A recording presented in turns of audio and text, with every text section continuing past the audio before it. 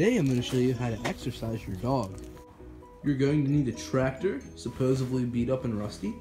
You're also going to need a chain and a dog.